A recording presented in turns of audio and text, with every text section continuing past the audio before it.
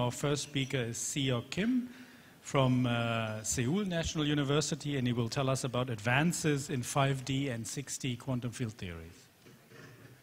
I'd like to also start by thanking all the organizers for this perfect organization.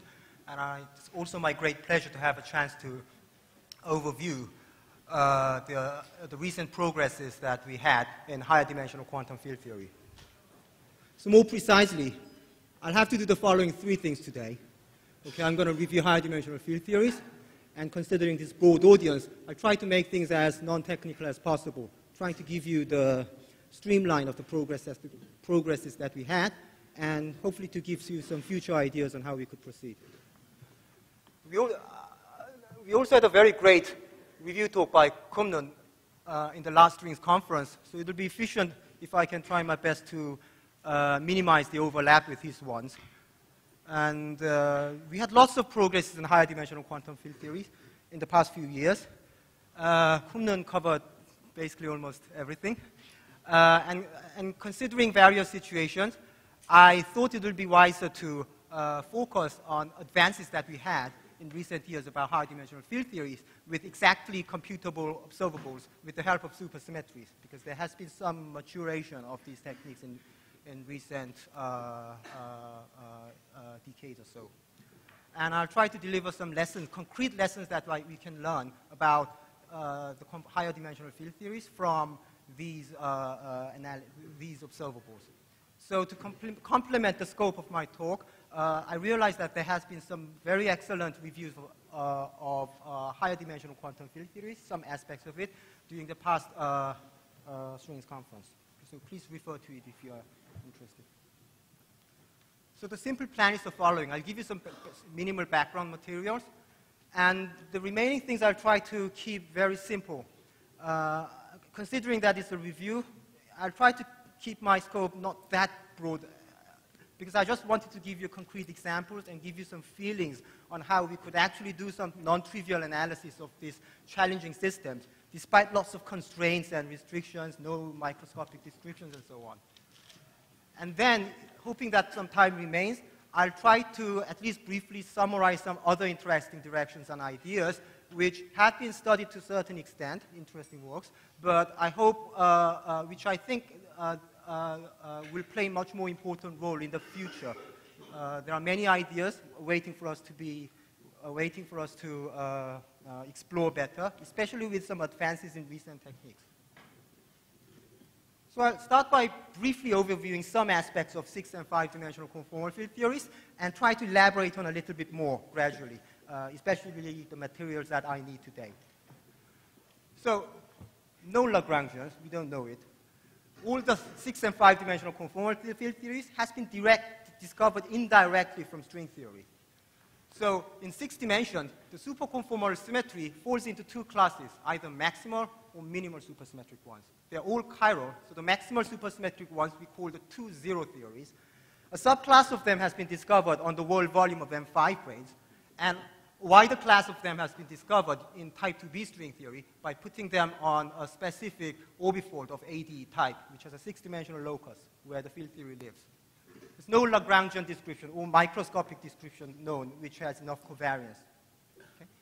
To get a feeling on, uh, a little bit of feeling on why it should be challenging to have some microscopic descriptions, you might want to think about a situation where we compactify the uh, system on a torus. We know very well that if the torus size is small, the system reduces down to maximal super Yang-Mills with AD gauge groups. Okay? And that, these systems are very well known to have the property called S-duality. Okay? These are non-perturbative properties of Yang-Mills theory, and over the, um, from more than 20 years ago, we had some heroic efforts by many, many, uh, many, many of our seniors uh, trying to understand some aspects of this S-duality. But if you try to understand this from the conjectured quantum field theories in higher dimension, they are manifested in a very, very simple manner. Okay? Um, for, for instance, in four-dimensional gauge theories, the difficulty in studying this S-duality might be addressed to the fact that electric and magnetic particles are treated so, on so much unequal footing.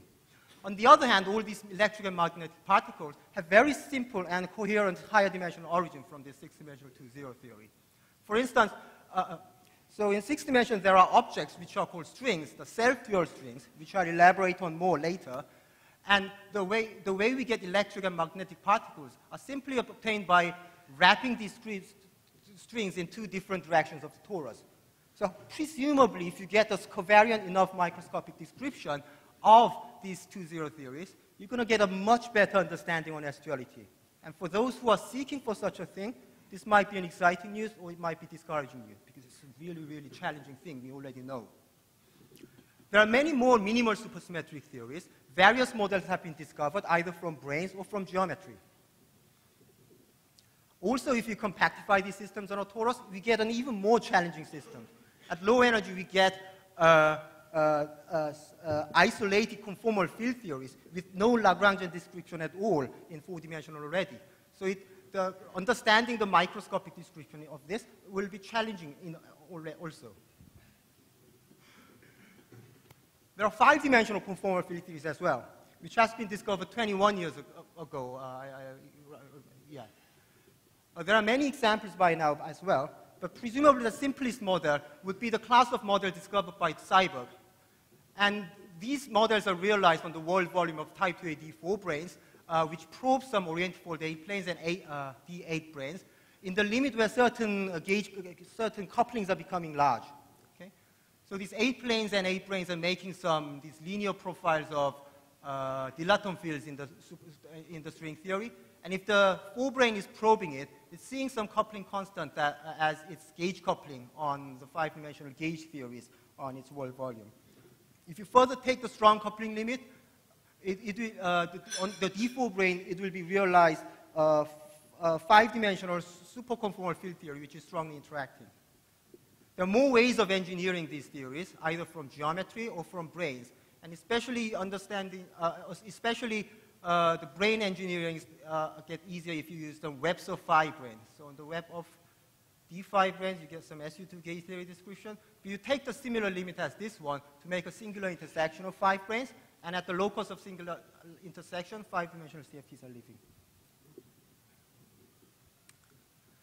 Also, if you compactify, also no microscopic descriptions are known about it. If you compactify on S1, it's related to a, a similarly challenging four-dimensional isolated conformal field theories of the sort that I've mentioned in the previous slide. So one can ask, how can you study this system without microscopic descriptions? The first kind of answer I can give, you to, it, give to you is uh, quite irresponsible one, maybe. We used string theory to discover it, so you use string theory to study it, if you can. Also, we get lots of great intuitions from effective quantum field theories obtained after deforming these conformal field theories by various massive parameters. It provides great intuitions and uh, uh, help us to define and study many interesting observables. In this course, it will be helpful to uh, understand uh, various lower dimensional quantum field theory techniques. In the deformed conformal field theory, you'll encounter various massive particles and tensionful strings. Understanding them uh, provides a lot of interesting clues about the conformal field theory itself, as I'll explain to you today uh, with several examples. So the one-dimensional quantum field theory techniques, living on these massive particles and strings in some deformed conformal field theory, will also be, provide some helpful window to understand this system better. So with these in mind, let me try to explain to you what kind of deformations of conformal, superconformal field theories in five and six dimensions we have. And I'll take advantage of this setting uh, to set up a, a certain class of interesting problems and compute that and try to explain to you how we can take advantage of it to study some interesting physics. So the five and six dimensional conformal field theories has uh, various kinds of massive, massive deformations. In five dimension, based, there are basically two kinds. First of all, you can deform the conformal field theory by irrelevant operators whose coefficients are masses. And a particular class of mass deformation yields at low energy a five-dimensional effective Yang-Mills theory description, where the massive parameters are given by the inverse coupling of the Yang-Mills theory uh, because the theory is non-renormalizable. These are the all kinds of Yang-Mills theory, which I explained to you in D4, D5 brane settings before, before you take the strong coupling limit. And in, in this kind of viewpoint, all the other masses correspond to something like quark masses and its supersymmetrization uh, having to do with and which breaks the global symmetries of the system. There's also another interesting branch that I'll pay uh, much more attention to, which is going to certain branches by giving expectation value to scalar fields. You can give expectation value to hypermultiplets or vector multiplets. What we'll be interested in the Coulomb branch, uh, which is obtained by giving expectation value to the scalar in the vector multiplet in 5D. In six dimension, you can only deform the theory by going to certain branches, either into the hypermultiplet Higgs branches or to another branch called tensor branch, which is my main interest today. So the tensor branch is obtained by giving expectation value to a scalar, which is sitting in another possible supersymmetric multiplet, which is called the self-dual tensor multiplet. So you have a two-form potential whose field strengths are constrained to be uh, having equal, and, equal electric and magnetic field strengths. So if you give expectation value to several tensor multiplets that you have, there could be several interesting, uh, there could be a couple of interesting effective field theory descriptions from which we can get some intuitions and ideas. So if the theory only has a tensor multiplet, like the case of two zero theories, if you go to generic point in the tensor branches, uh, you, you have just a bunch of free abelian tensor theories uh, uh, action in the infrared, or equation of motion in infrared. If there are some vector multiplets, the structure becomes more interesting. You can get more lessons out of it. So if there are extra vector multiplets on the top of, on top of tensor multiplet, the, the, the low energy effective action is described in this branch by an interesting Yang-Mills tensor and optionally matter couple theory, where the expectation value of the tensor multiplet field sets up the Yang-Mills constant, Yang-Mills coupling constant. It has the kinetic term for the tensor branch field, the bosonic part I, I showed. And there's a tensor vector coupling term, where this term effectively gives rise to uh, uh, the Yang-Mills kinetic term in the tensor branch. And a partner term that you see here is coupling the uh, instanton number density, F wedge F, to the two-form potential, giving, uh, sort of sourcing them. The reason why I'm interested, there are many reasons, but some reason why I'm interested in studying observables in this branch is that, um, well, firstly, it's like uh, studying the four-dimensional gauge theories, going into, into Coulomb branch and studying dyon spectrums. Okay? That turns out to be extremely interesting subject in four dimensions. I can say that these branches are as analogous as I can go to that kind of settings in higher dimensions. And there will be various massive particles and string-like observables. You can also do some BPS state counting problems here, although the nature of BPS states are very different from four dimensions. So you can define and study various interesting observables related to objects in this branch. But these objects, may, you may think that has very little to do with the conformal field theory that we are interested in, because you deform the CFTs with various massive parameters. I'll be studying some Witten index like uh, partition functions, uh, which has temperature-like chemical potential in this setting. And you can see some hints of conformal field theory physics. If you take these temperature-like variables high enough, so you naturally expect that some physics at the high temperature will, will not be affected by the small mass deformation that you have introduced. I'll explain to you this idea at some point of my talk, after I explain to you how the computation that also have, have been done. And also, there have been recently, uh, recently over five or some years like that, some interesting proposals, proposals about uh, a more natural conformal field theory observables living on curved space-time, about five and six-dimensional CFTs. And in these proposals, these tensor branch observables or Coulomb branch observables are heavily used. So it allows you to, uh, with this proposed answer, study certain physics or aspects of conformal field theories, inspiring many people to have better ideas about uh, the structures of it. So, on this slide, let me try to give a brief overview to you on what the objects we are going to be interested, what kind of objects we're going to be interested in this, in these deformed branches. In six dimensions, there are basically one kind of objects. We call it self-dual strings. It's the kind of stringy objects that couples the self-dual uh, tensor multiplet with equal electric and magnetic charges. And in the string theory engineering, there are basically two kinds of examples. If the CFT is related to the brane construction, you separate the five branes to go to tensor branch and suspend M2 branes, which gives you the strings. If it's engineered by geometry, either 2B or F theory on singular uh, uh, internal space, the singularity is blown up to a bunch of two cycles, uh, which is going to the tensor branch, and you give expectation value to the, uh, you, you, wrap three branes uh, along certain two cycles to get the strings. Especially in case if there's six-dimensional gauge group, you get a better intuition of it. For instance, you have some V branes along with it, You have some seven branes wrapping it. You have some gauge groups in six dimensions. Then, by recalling the action that I wrote to you uh, on the previous slide and getting the equation of motion, imposing the self-duality condition by hand, you notice that this instanton number density of the gauge, gauge field is sourcing this, this uh, uh, electric and magnetic field strength of H. So, if you consider these anti-self-dual or self-dual instantons under the transverse alpha slice of the sixth dimension, they are becoming the soliton strings, which are interpreted as the infrared uh, realization of these self-dual strings. Uh, uh, yeah, self-dual strings. In five dimensions, there are many interesting objects if you go to deformed branch, finite coupling, if you go to Coulomb branch, and so on. What you get are something like quarks, W bosons in this gauge theory description language. They are regarded as perturbative uh, elementary particles in this language. You can have some solitonic particles by, in, in this web description, giving rise to D1, D5 branes. So these are particles in this effective theory, which are, which are realized as the same mathematical structure of, of Yang-Mills instantons, now becoming a massive particle. You can also have some strings by wrapping D3 branes, uh, filling a, a face of these uh, uh, five brane webs.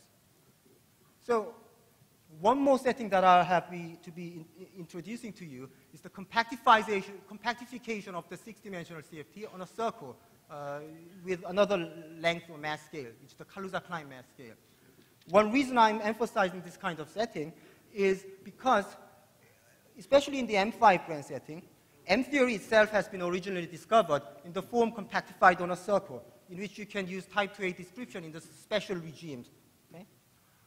So, for instance, if your other energy scale of interest is much smaller than the Kaluza-Klein energy mass scale, you can use uh, the so-called D0, D4 description, quantum mechanical description, to study this uh, M M5 brane sector with definite Kaluza-Klein momentum K. And it's described by this simple D0, D4 quantum mechanics, which you'll notice as uh, an ADHM quantum mechanics of Yang-Mills instantons if you have uh, uh, heard of this, uh, if you have thought of this Yang-Mills instanton problem ever. Okay?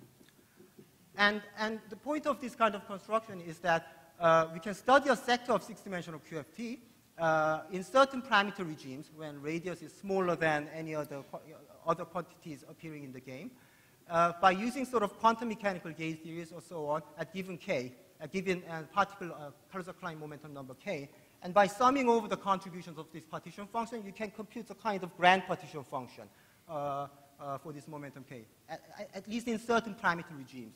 But if you're computing certain supersymmetric quantities and so on, like indices and so on, often you can continue the computation made in special regime to other parameter regimes to get useful information. Sometimes you can, depending on situation, you can do so easily. Sometimes you meet singularity depending on models, so it makes us different. It, everything depends on models.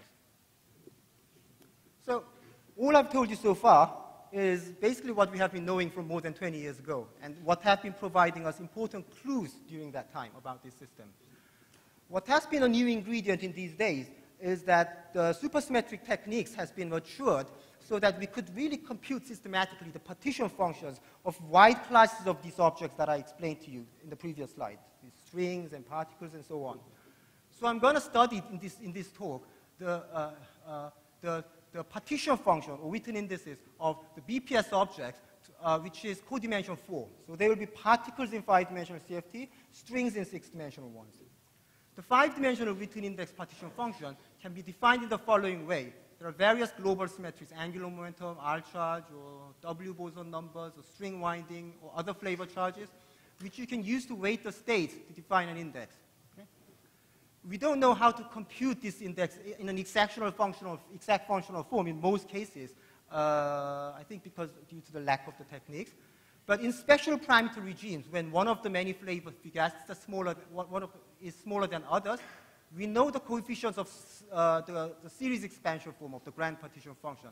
Let's say if uh, uh, uh the coupling constant deformation has have been made so that the solitonic particle is much heavier than the, uh, the, the, lighter ones, uh, the other ones. You expand this in the soliton particle number, and the coefficients are basically known as this Nekrasov instanton partition function. Okay? So you can compute it in particular reg regime, at least. The six-dimensional partition function can be computed. Uh, uh firstly, the quantity can be defined by compactifying the system on a circle because you want to wrap the string there and compute the spectrum of them.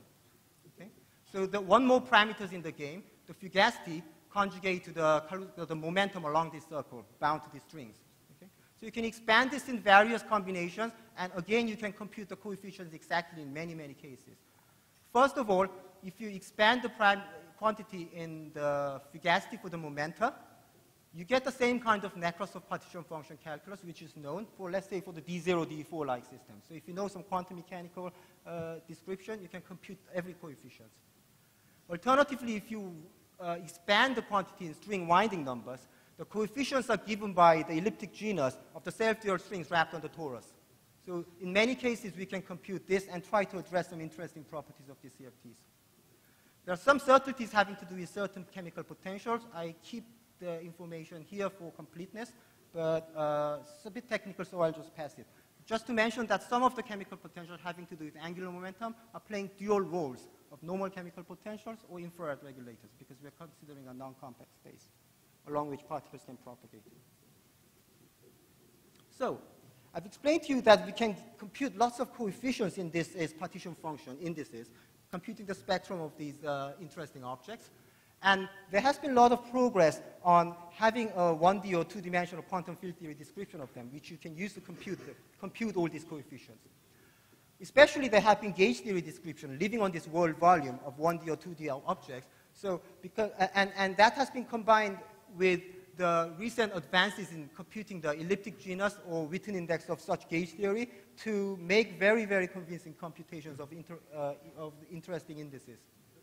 So first of all, if you know some two-dimensional gauge theory living on some of these self-dual strings, uh, the BPS spectrum co uh, computed by the elliptic genus can be obtained by the work of these gentlemen in recent years. So it's basically a supersymmetric torus partition function.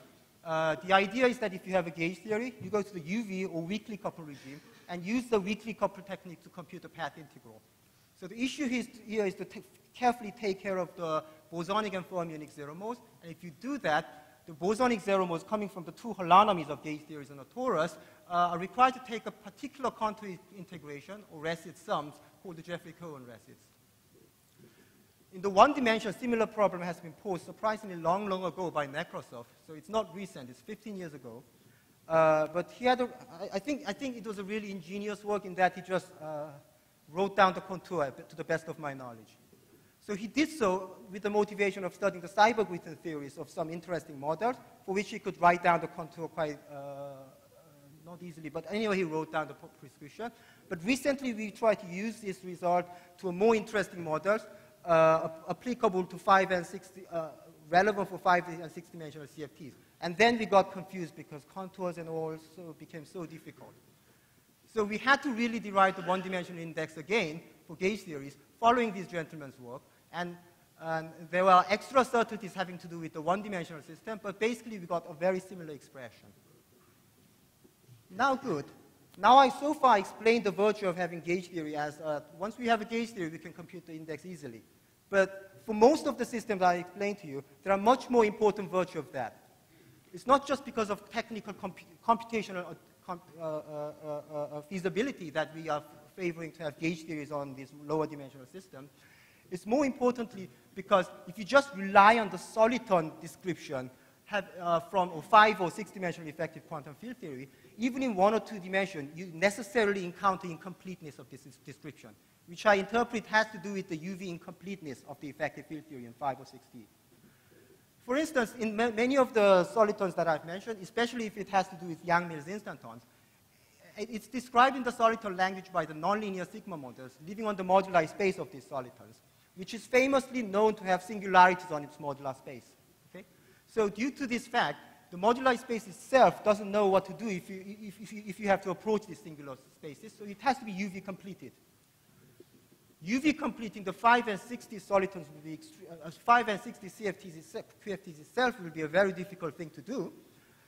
But UV completing things in your smaller problem, in the context of 1D or two-dimensional quantum field theory, in a specific parameter regime, will be possible by, by finding suitable one or two-dimensional gauge theories or gauge linear sigma models. Here, having, having singular uh, limit of the soliton, uh, uh, soliton profile is quite, uh, uh, quite uh, common even in four-dimensional gauge theories. We just interpret it as a singular saddle point of a quantum field theory, which are perfectly good at short distances if it's a renormalizable quantum field theory. But the thing is that we should interpret the same, same mathematical phenomena differently in higher dimensions. Okay? So the, the having some gauge theory-like matrix model description for uh, singular saddle points in four-dimensional gauge theory is really just a technical tool to compute things better. This we really needed to do a complete calculations. So for instance, in the early days of this business, uh, some calculation of Witten index uh, using some wrong UV completion caused a lot of troubles because we didn't really carefully follow what string theory was asking us to do. So this is a kind of example which really doesn't have a counterpart, so I really think the interpretation has to be different. Okay? This point might have to be emphasized later in my talk. So with this kind of motivation, we have been, uh, many people, including myself, have been studying uh, partly with this motivation, have been studying the world volume gauge theories of various one or two-dimensional solitons uh, in the recent few years. And uh, there are many, many examples, but uh, with the interest of saving time and also not to be too technical, I'll just give you what, explain to you one example, namely the strings of the AN minus 1 type 2 zero theory. So, easiest way of getting gauge theory from string theory is to use d-branes and open strings, because that's the natural way gauge theory arises, a natural way. So the, the self-dual strings in 2-0 theory started from M2 and M2, M5 brane system. So we deform it slightly to an NS5 brane and D2 brane system, where these are the, will be the UV descriptions of the self-dual string quantum field theory. And on these world volume, we, we kind of quiver gauge theories, preserving a certain amount of supersymmetry. And what has been done by these authors, uh, uh, the, the, ingenious thing that has been done by these authors is to add a little bit of deformation in this UV theory, add, adding one more branes and so on, in a way that computing the infrared observables becomes much more feasible and easier in this deformed version of the UV theory without affecting the infrared physics. So there are many UV theories that can float the same infrared physics. This is a slightly deformed version of the gauge theory obtained by this, basically filling one D6 branes. So this is the quiver that has been constructed for the self-dual strings with definite, uh, uh, let's say, winding numbers along, e along each tensor branch node. This will be playing some important roles in the discussion, physics discussion I make later. I was quite tempted to make some showing off about technical advances in studying these quantum gauge theories for various strings and so on, but uh, I'll refrain from that. Now, so I, I think I explained to you certain settings and certain calculational methods which allows us to address, uh, which allows us to get, sort of compute the deformed conformal field theory's partition function or indices. Now I can ask you the question, uh, I can ask myself the question, what kind of good things can you do with it? What kind of conformal field theories can you start study with that? So I'll try to give you two examples where this kind of physical studies can be made. First idea is the following, which I'll be explaining to you in the next three transparencies or so. So first of all, as I explained to you, partition function that I've been studying has lots of parameters of chemical potentials, some of which can be interpreted, uh, although in the index version, a temperature-like variable. So if you can study the really high temperature-like limit of this index partition function, it may be able to overcome all the massive deformations I introduced and asymptotically tell us some interesting conformal field theory physics. So let me explain to you what we can do in the 2-0 theory. Actually, that's what has been done, only thing that has been done so far, but I think many things can be generalized to 1-0 and other theories, hopefully. So the 2-0 theory partition function I introduced to you is, in a sense, a partition function on R4 times T2. One is spatial circle, one is temporal circle.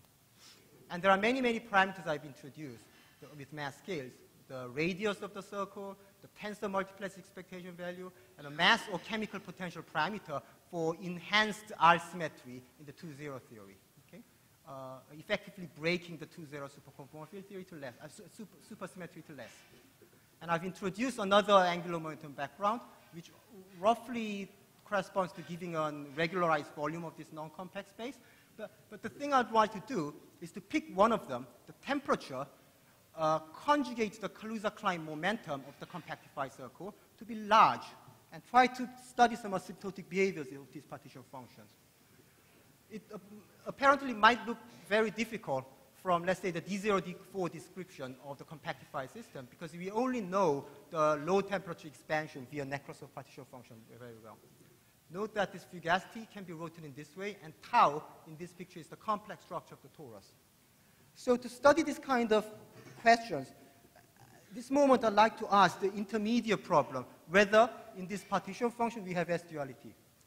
I think this is a valid question to ask because at least when the torus size is small, as I introduced to you at the earlier part, we have n equal 4 super Yang-Mills or mass deformed versions of that, for which S duality is uh, widely believed to be true and, and, and, and lots of evidences we know.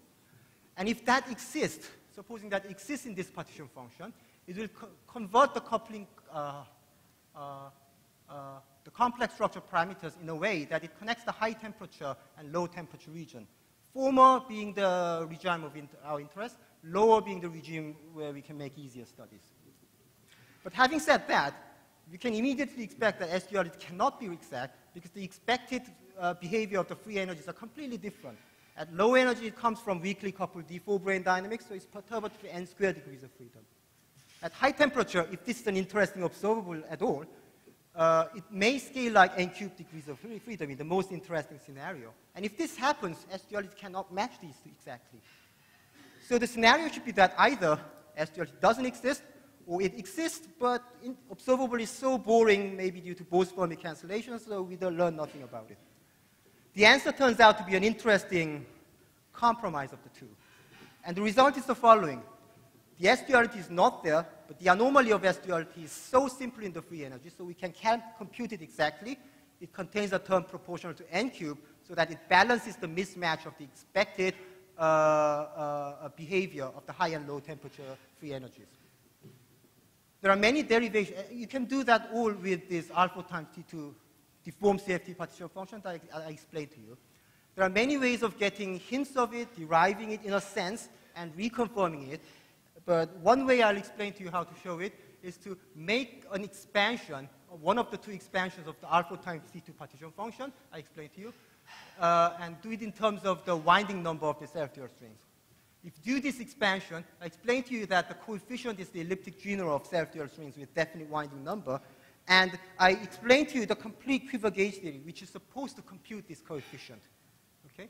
So this is the result. It may look complicated and as usual in this kind of business, it uh, admits a kind of Young tableau sum formulation, but you don't have to know the details. Just need to know that it's a sum of ratio of the simple Jacobi's theta function so that you have a complete control.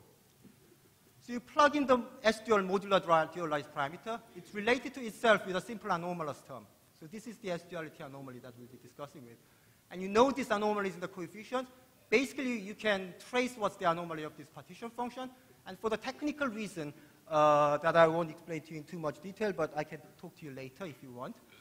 I'll be studying the limit in which the regulator chemical potential is sent to infinity so that the free energy will become roughly this divergence factor, something like a volume factor roughly of R4 times this coefficient. I'll be studying the effect of the S-duality anomaly acting on this. If you know the Seiberg-Witten theory well, of course this is called the quantum part of the prepotential. In our context, we're going to study it as a free energy, a limit of the Witten index in the high temperature limit. So the anomaly can be induced. Uh, anomaly uh, loss transformation of this kind, kind of quantity can be deduced well. Uh, and the result can be summarized as follows. Have, it's convenient to de uh, decompose this uh, free energy into three parts. First of all, coming from the abelian part, coming from the n abelian tensor multiplets of the separated M5 branes. The rest is a non-abelian part. To state the result neatly, it's again convenient to decompose into these two parts. The last part uh, will be what I'll be calling the anomalous transformation part, which is proportional to n cubed minus n, fourth power of the chemical potential, and it's proportional to what's called the second Eisenstein series, which is notoriously well known for having some weird transformation property on the S-duality modular transformation. It's one of the quasi-modular forms. So the way I decompose it this way is that S dual F defined this way is transforming in the standard way under the uh, S duality transformation. Okay? So the consequence of this anomaly says that this F S dual in this limit transforms as follows. So the S dualized free energy, F dual part, is related to the original one by a simple Legendre transformation. Again, many of you will realize that it's very natural because in four-dimensional cyber theory, this is what you give the electromagnetic duality transformation. It's basically saying that the electromagnetic duality transformation is amounting to doing S-duality transformation. More precisely, if you take the four-dimensional small torus limit of the left-hand side, you can show that this equals to this using some scaling properties of four-dimensional prepotential. And it really says that the effect of doing S-dualization and electromagnetic dual description change bring you to the original description, which is the usual four-dimensional S-duality of mass deformed n equal, to super, n equal 4 super Yang-Mills theory. This is a curious extension of that into six dimension. Anyway, anyway, the message is that once you know this complete anomalous transformation, for studying the high temperature limit of this, you can use the dual low temperature limit, in, in, and in favorable situation, plug in the weakly coupled or low temperature perturbative contribution here to do the calculus. The rest of the two terms are so simple so that we can compute the high temperature behavior explicitly. And then explaining all this, you won't be surprised to find this kind of expression. So the asymptotic free energy that I find firstly contains a term proportional to n square coming from the Fs dual part, plugging in the dual perturbative contribution. This is a technical constraint that I had to put to do some calculation. And the rest of the term comes from the two anomalous part, proportional to n cubed minus n and n. So it contains a definite term proportional to n cubed, and if you keep the chemical potential rest of them fixed and take large N limit, you formally you see a term that is proportional to n cubed, seeing that the free energy is scaling like n cubed in a particularly chosen larger n limit. Of course, I have to interpret this term carefully. Of course, if you plug in f, f, m equals to zero, you get the most boring thing as possible. You get zero. And the interpretation of this is that this chemical potential is breaking the maximal supersymmetry of this uh, 2-0 theory or maximal super Yang-Mills theory into half, so that if it, if it takes into take it to zero, this observable is becoming very boring. It has perfect Bose-Fermi cancellation, and you just don't see anything. Okay? So I keep this prime to fixed to see some kind of remnant effect even after some partial cancellation between boson and fermionic degrees of freedom. So I, th that's the interpretation of this term. So although it's very indirect, I think it's a very promising and curious a signal that this kind of system could be in, in, uh, uh, exhibiting the n cubed degrees of freedom in its, in its spectrum, presumably due to the roles of having uh, light D0 brane degrees of freedom. I think more interpretation or careful mechanism study has to be done, but I think this is a very encouraging signal. Just to make the status of this most important term uh, more solid, we have been providing an alternative computation of this term uh, by using some techniques of studying the high temperature limits of uh, uh, uh, some partition functions or indices. Okay? So basically, if you compactify the six-dimensional background of us onto small temporal circle, you, can, you get various background fields, and you can write down the five-dimensional effective actions for these background fields. And there's a particular term, five-dimensional gauge non-invariant Chern-Simons term, that is required to be turned on with particular coefficient to match the six-dimensional 't Hooft anomalies. So one can show that this part of the term can be completely reproduced by this part of the 't Hooft anomalies, giving a reconfirmation that this has to be the case. And it's related to certain uh, high temperature behavior of free energy obtained by counting states. So this is one lesson that I illustrate to you, what we can learn from a deformed partition function of a CFT.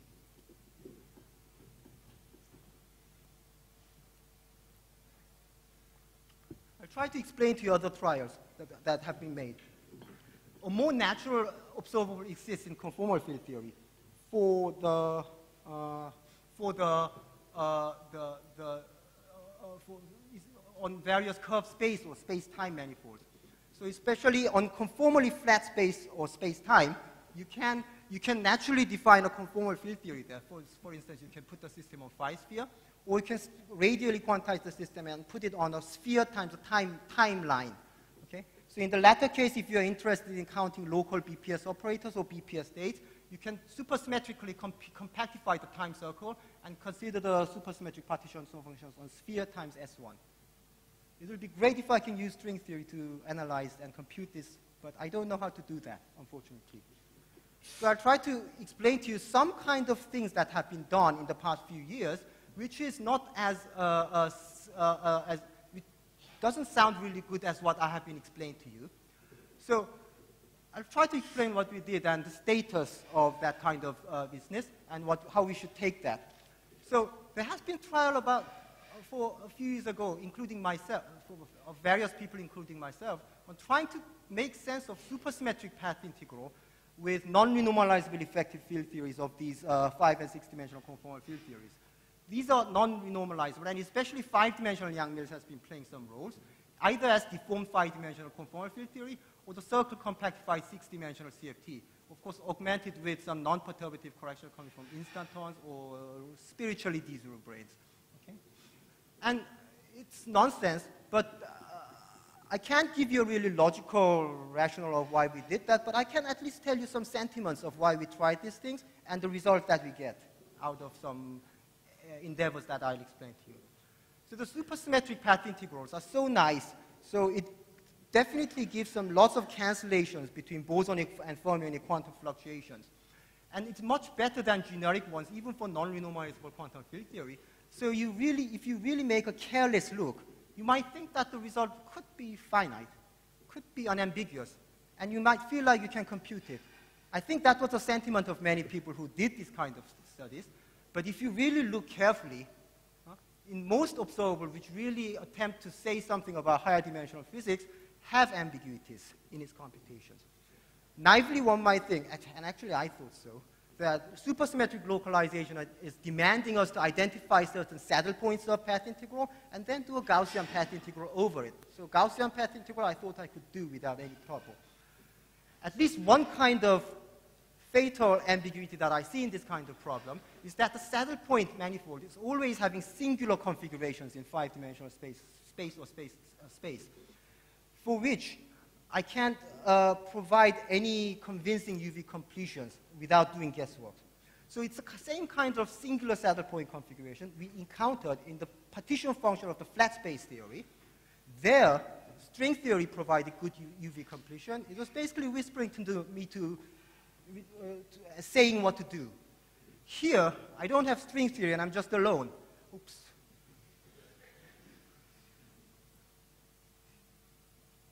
So this is the crucial point I or many of my colleagues had to make guesswork without any logical grounds. Okay? And this is a kind of very similar kind of UV completion, at least at formal level. So by experience that we had on the flat space partition function, we could really make an educated guess to propose a concrete formula for certain observables. Okay? So if you want, pragmatically, you might think of this kind of procedure as proposing a very, very concrete answer for these partition functions, which at the first stage, you can be a bit doubtful, so you test it, test it against lots of data you know about this system by various indirect methods. And at a certain point, if test is sufficient, you can change your mind and try to stare at it to get some more in, in, in, interesting information. So I try to explain to you what kind of lessons I learned by observables whose answers are written down in this manner. So for instance, the superconformal index of the six-dimensional 2-0 theory, we call this BPS partition function superconformal index, is defined by a trace over the local operators with fugacities inserted in, with lots of uh, scale dimension, R charges, and angular momentums, and so on. And it takes the form of a finite dimensional integral whose measures incident, incidentally take advantages of the tensor branch partition functions that I spent some time to explain to you on alpha times T2 and you integrate over some tensor branch parameters and so on suitably. Okay? There are uh, a couple of alternative versions of proposals made, but I, uh, I, I, I explain to you a definite one. And some consistency test has also, also been made in the early days, some low-order expansions in large N, abelian index with some guesswork in, in, inserted in in, in here. And I'm going to explain to you probably the simplest one that uh, thing that I have learned, because it's still a very cumbersome expression, but if you make a simplification by turning on certain chemical potential, suddenly you can do an exact calculation, get closed form, and see some physics better. So the simplest setting I have been considering originally with my collaborator Hee-Cheol Kim in five years ago was to turn off as most as fugacities as possible and just keep one of them. And the measure turns out to commute with 16 of the 32 supercharges. So I was convinced that I could compute this whatever way. And actually, I have a very naive and stupid and completely wrong expectation, even before getting to any computations. Uh, I'm just sharing my stupidity because uh, uh, similar confusions are made by lots of my lots of people, and uh, just to sympathize that I was in the same status of confusion. The first stupid confusion was that it, I thought it was associated with half supersymmetry, so I thought it would be counting half BPS operators, whose partition function is this. This answer, this expectation turned out to be wrong. The second expectation I had was that, okay, I'm computing a partition function of the sphere on curved manifold, so I'm going to have some vacuum and Casimir energy factor, whose leading order ex expression in the large N expansion has been computed by some, uh, computed by some holographic normalization techniques 17 years ago, and has been recomputed by Minahan and Zabzin and collaborator quite recently. This expectation was also wrong. Instead, I got the following quantity, somewhat more complicated than the, what I expected, and the prefect I got, but with some weird, uh, uh, some different coefficients. I think whenever I got wrong, we got to learn some uh, uh insightful physics uh, uh, by, by staring at the unexpected answer. The first expectation was stupidly wrong, just because the unrefined version of the index having to do with 16 supersymmetry is not the BPS partition function. It was just a stupid mistake of mine. But I got this expression uh, of course, I did some consistency check, n equal to 1, n equal to infinity against ADS7. So I thought, okay, it might not be wrong. It looks good. But I had no idea what I was doing, what I was counting. I had to wait for two more years until Beem and Rastelli and Van Rees came up with a beautiful proposal about the structure of the six-dimensional local, super, six-dimensional local operator spectrum. They were making a beautiful proposal that there is a subsector of local operators in 62-0 theory whose operator products close into, into, the, into, into, themselves and yield what is called the WN algebra.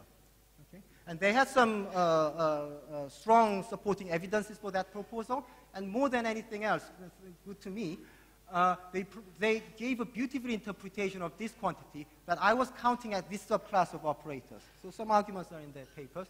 So at last I got to know that what I was counting was related to this deep structure of the six-dimensional 2-0 theory.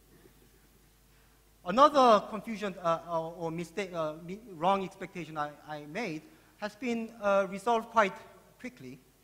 Just because, because the Casimir energies and the Casimir energies appearing in the index has similar characters in nature, but it's intrinsically different. So it's a BPS cousin of Casimir energy, which has to be computed with you know, regularization and normalization, every step respecting supersymmetry. So it's a BPS cousin of the traditional Casimir energy.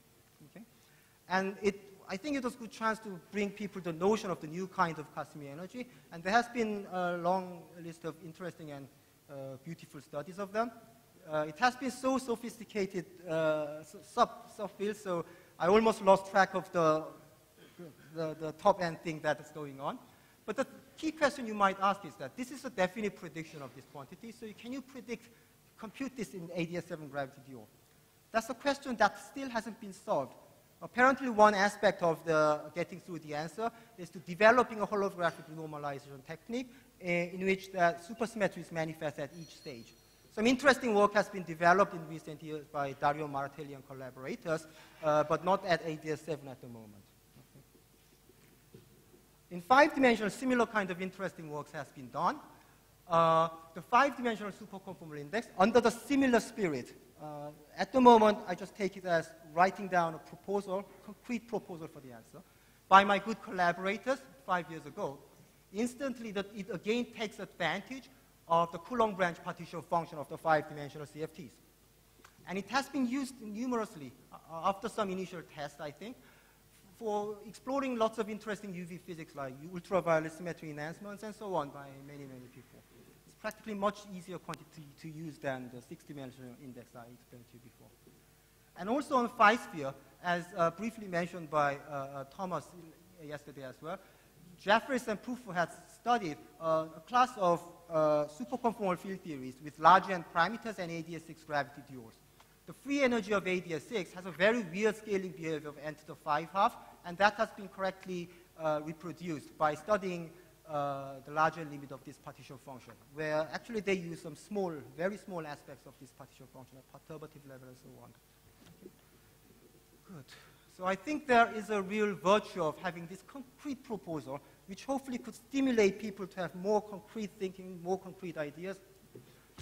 So I'm not want to be too ambitious, but uh, I hope this is the answer which better define questions of various sorts in the future. And many other proposals of this sort, I'd be welcome to for. And hopefully in the future, somebody might be logically clarifying what this business is all about. So there are other directions. I have five minutes. So I have brief comments about many other in interesting ideas that has been studied to, to current days to a certain extent, but those ideas which has been relatively old, but I think hasn't been fully explored, especially combined with the recent advances in supersymmetry techniques. This idea, I think, has a good chance to explore various different aspects of uh, higher dimensional conformal field theories.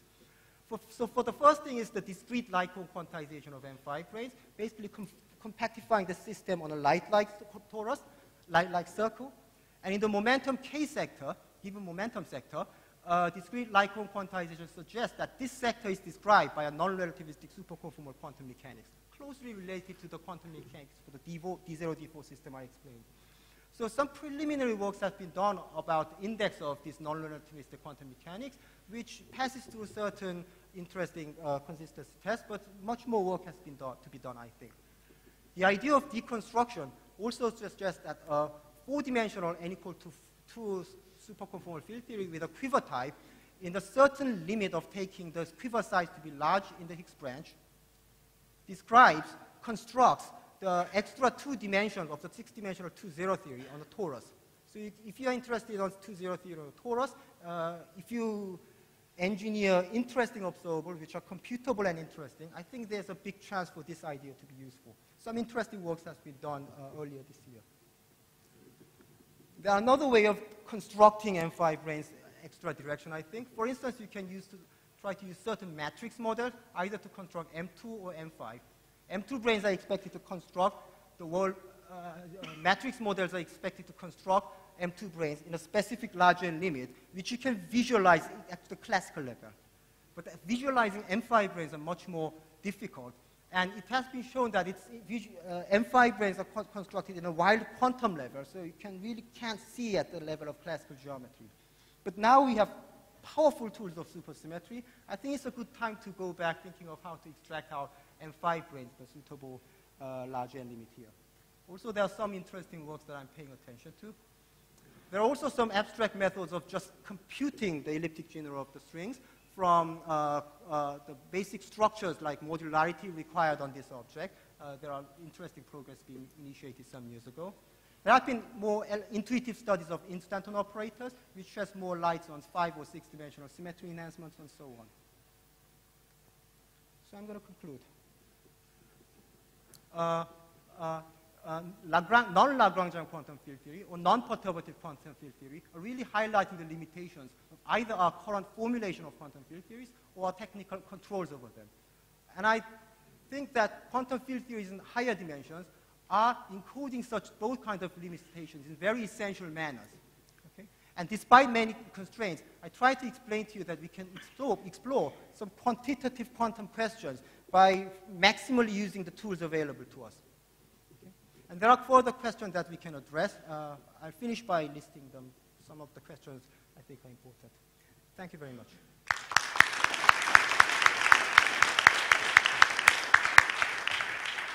Thank you very much for this comprehensive overview.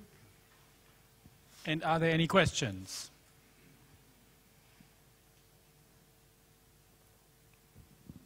Eugene. Um, I have a question about your uh, S-duality anomaly formula. Yeah. Yeah. Um, was it uh, observation from the computation of the uh, index, or is, do you have an intrinsic derivation of that transformation? Yeah, yeah, yeah. Yeah, so I, yeah. I, I, I explained to you how the coefficient transform right. the anomaly. So from that, I know essentially, I mean, with some technical, technical difficulties, how the, this quantity transformed. And in this limit, the free energy transformation is basically derived from this. I So, see. so basically, if you trace the trace the these lines of uh, uh, derivation, what appears here? Oh, sorry, I didn't. This is the intersection number of a n minus Right. gauge group, and this is uh, the Weyl vector. This is actually uh, in correspondence with the anomaly polynomial four form. This, what is it? This, this, Right. this Green-Schwarz term of the anomaly, uh, where field strengths are replaced by chemical potentials. If you trace this, this- those are derivation. You can show that this originates from the square of this. Uh-huh. So I, I have a real derivation, more than one derivation and more supporting checks in series Okay. expansions and so on. Yeah. Thank, thank you. Okay, maybe I'll, I'll ask one. Uh, at, at various points, you mentioned uh, the computation could also be done in the dual supergravity. How is this done on an Uh, explicit solution? At some point, you Oh, said oh, yeah, yeah, yeah, some spectrum. maybe. So the- Yeah. the, the large N limit of this. Yeah? Also, you expand the gravity fields, uh, various supergravity fields in ADS 7 times S4 at quadratic level and read off the Kaluza-Klein spectrum. Okay. So you compute the index from that. Okay. Did you have a question, Vafa? So do, do these methods help you in any way in classifying these theories? I mean, even just for the two zero theories in six dimensions, can you learn anything about the classification of the theories? Classification. Um, um, um, by doing this kind of studies? Uh, not really. I don't think so. yeah. At the moment, no. Any more? I don't see any, so let's thank uh, Seok again. There was one.